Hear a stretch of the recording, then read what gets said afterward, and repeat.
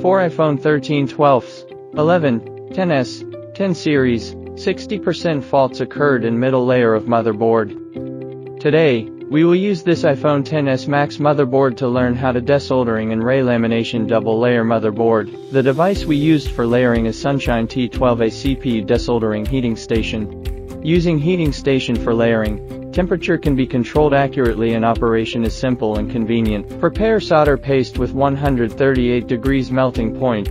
Low temperature solder paste is suitable for double layer motherboard layering elder than iPhone 12. Connect heating station and put motherboard on it.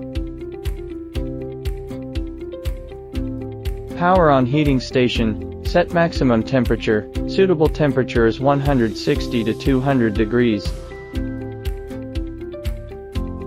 When temperature reaches maximum temperature, wait for 5 seconds. If you can move upper board, that indicates solder tin between two layer boards has fully melted. At this time, remove upper board. Power off, remove lower board from heating station. In this way, separating double layer board is completed. Double layer motherboard is connected through solder joints frame, which was on radio frequency board.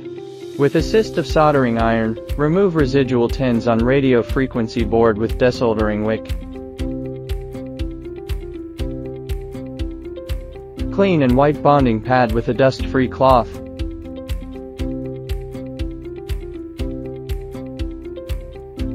Adjust humidity of low temperature solder paste. Fix radio frequency board on Mijing Z20 motherboard reballing station. Put in reballing stencil and reballing radio frequency board.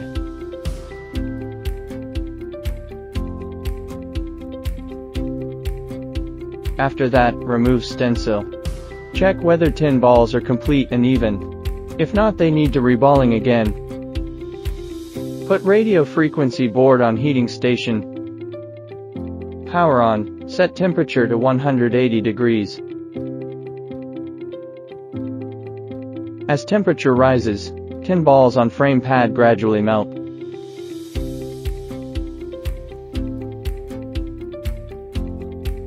This is a wonderful process. Power off heating station, waiting for tin balls to cool down. At this point, Middle layer solder frame of radio frequency board is completed.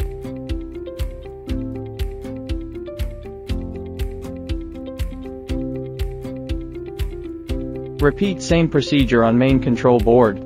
With assist of soldering iron, remove residual solder paste on main control board with desoldering wick. Clean and white bonding pad with a dust-free cloth. Main control board was completed. Put radio frequency board on heating station after reballing. Apply soldering flux at tin balls of frame. Put main control board on radio frequency board. Align accurately. Power on heating station. Set temperature to 180 degrees. Wait for temperature to rise.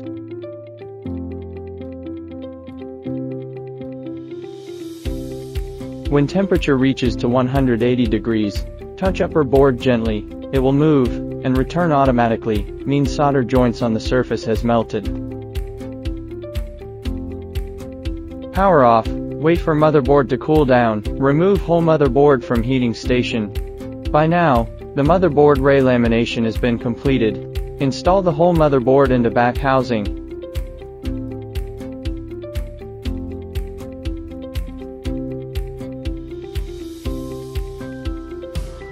Install LCD screen.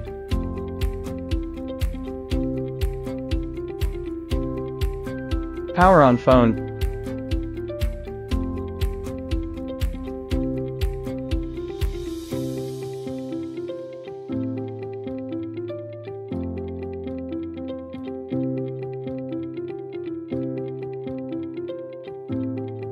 Test each function, all functions work well.